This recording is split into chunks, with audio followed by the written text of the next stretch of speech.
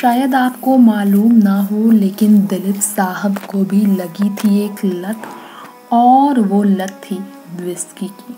ये राज खोला धर्मेंद्र ने। इंडियन आइडल के सेट पर जब दिलीप साहब काफ़ी बीमार थे, कि दिलीप साहब धर्मेंद्र को अपने घर बुलाते, खूब लाड प्यार उन पर लुटाते, और इसके बाद उनसे कहते, क्या तुम कुछ पीना चाहोगे?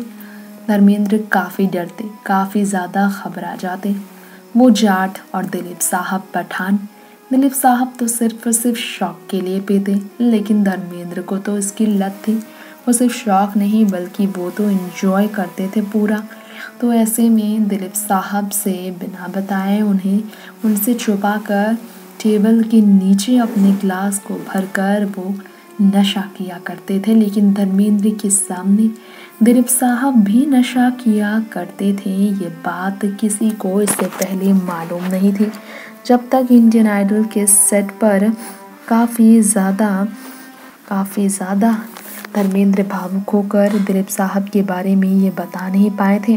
कई ऐसे सिकर्स हैं जो धर्मेंद्र ही दिलीप साहब को लेकर बात जानते हैं, जिसे सालों तक उन्होंने छुपा कर रखा था। नेक्स्ट नाइन न्यूज़ रूम से तृप्ति की रिपोर्ट